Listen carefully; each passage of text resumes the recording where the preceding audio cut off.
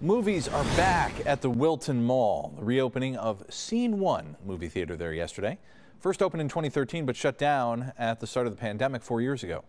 The owner of the company that is operating it now telling News 10 ABC they already have some big plans for the future. I want to put a stage in one of the theaters and do comedy shows, um, live mic, uh, open mic nights, uh, community meetings, etc.